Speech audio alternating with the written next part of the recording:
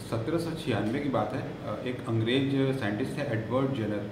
उन्होंने देखा कि जो दूध दोहने वाले लोग हैं, उनको गाय के थनों में कुछ इन्फेक्शन होता है, उससे उंगलियों में छोटे छोटे पस्ट्यूल्स बन जाते हैं पस के दाने बन जाते हैं। तो इसके इलाज के बारे में बहुत दिनों से सोच रहे थे तो उन्होंने एक तरीका निकाला।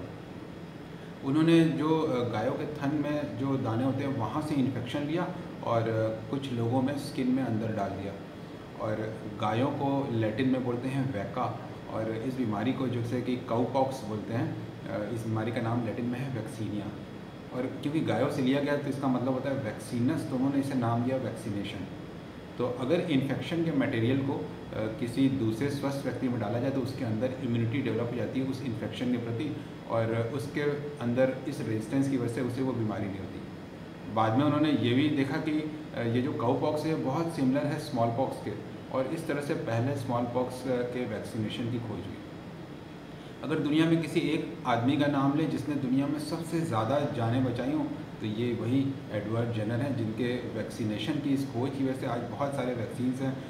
लाखों करोड़ों बच्चों की जानें बचती हैं, क्योंकि हम बचपन में ही वैक्सीनेशन कर देते हैं, जो ख़तरनाक बीमारियाँ होती हैं।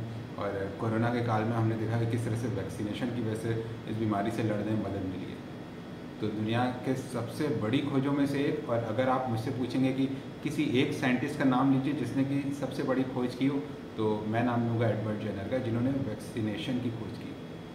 वैका बोलते हैं काउ को लैटिन में, और इसकी वजह से इसका नाम पड़ा वैक्सीनेशन।